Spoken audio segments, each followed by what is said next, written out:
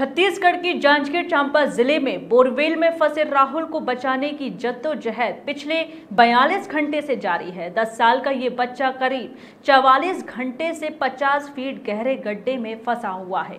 वहीं दीवारों से रिस रहा पानी बोरवेल के अंदर भर गया है। उसे निकालने का काम जारी है। खास बात यह है कि बोरवेल में गिरा राहुल अब खुद बाल्टी से पानी भरने में मदद कर रहा है। वहीं बच्चे की इस कोशिश ने रेस्क्यू ऑपरेशन में लगे लोगों की उम्मीदें बना रखी हैं।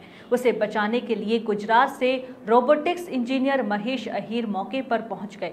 महेश ने अपने लैपटॉप से रोबोट को कंट्रोल कर नीचे उतारा, लेकिन उसे फिर बाहर निकाल लिया गया। उन्होंने कहा कि रोबोट से मिली जानकारी के अनुसार बच्चे को बाहर निकालने के लिए तैयारी की जाएगी।